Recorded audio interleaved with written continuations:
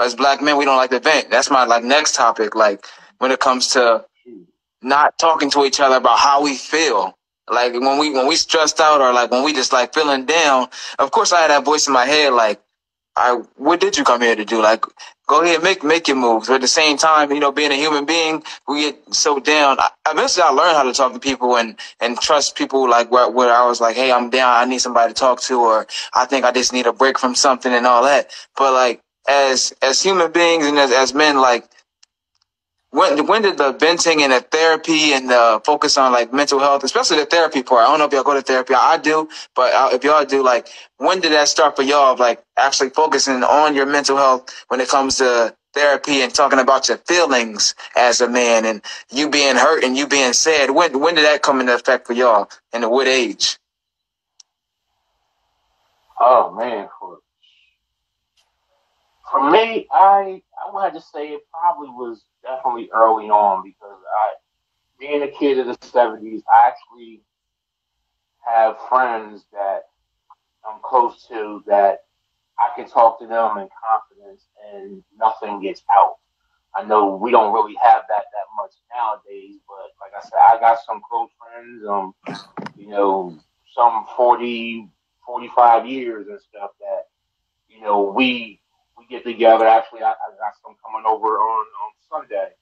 We're getting together and we just sit there and talk about we talk about the wives, the girlfriends, the job, career, uh, the bills, and everything. We, we get it all out. But my first time actually going to therapy probably was shortly after my dad died. My mom I lost mm. her first, and dad died seven months behind mm. her, and I was just like in a real dark space, and didn't want to. Re- I didn't want to revert to old ways because in my younger days I handled everything with these.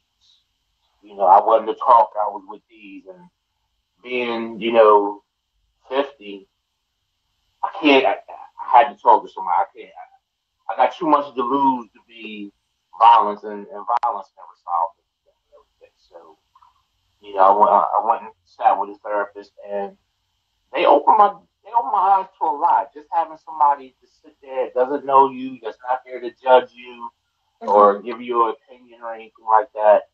That that helped out a lot. And I can actually say that was probably a small uh, or part of the catalyst that got me out of that corporate environment and everything. Like just maybe like like like Jarrell said, you know, take it as you want, but this is the life that you're in right now, so you might as well make it the best. So therapy definitely helped me with that. And like I said, I'm definitely blessed to have a real close circle that if something goes on, I can honestly go to them with it and not have to worry about things going back and forth or anything like that.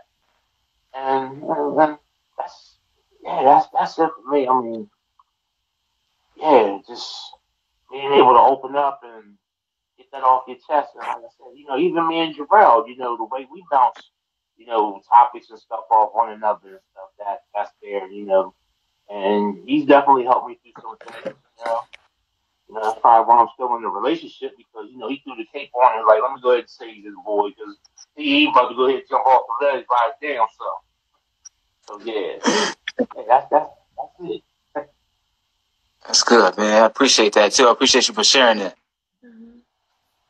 Yeah, and I would say So okay, so for me, uh, it was probably so so so when I, I hit a wall, like ooh, I don't know, maybe might might have been almost like eight years ago, something like that. So there was a time when, like, so my, my dad died when I was like like ninety nine, right?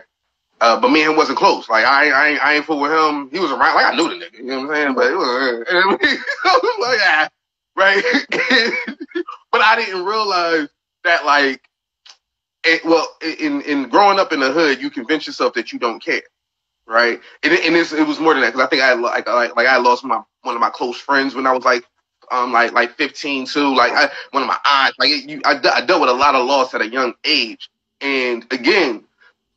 Growing up in the hood, you taught to be unaffected. You better not let that show, boy. They they gonna take advantage of you. Soft son, what's up? Like you had, I had to have that that that that hard armor, right? But I didn't know and then like you know probably like 10 years later almost right i'm meeting family i mean meeting family that that that, that my pop made you know i mean kids that he was like oh shit i got i got i got sisters you know like, the I grew up with y'all, not the ones that grew up with, with me and my mom. Who, who these people?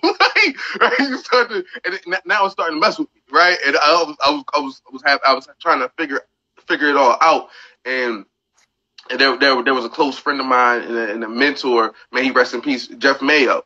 One of the biggest moments in my life because I was I was actually at work mentally going through it, and he had um and he had pulled me aside, and we and, and this is when I started to be in tune with mental health, and because because he had kind of told me about the power of forgiveness.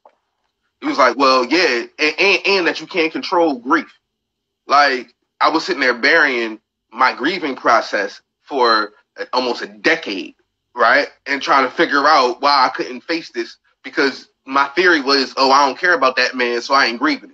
And wrong. Nah, it works. Okay, you don't get to be like, oh, I ain't grieving, so I'm not. No, you, yeah, all right, but bro, your, your mental health don't care about what you say. It is no, you have to you have to really kind of do the work um in in, in in figure out what those issues are, and that's when I started to take a look inside of me. Mm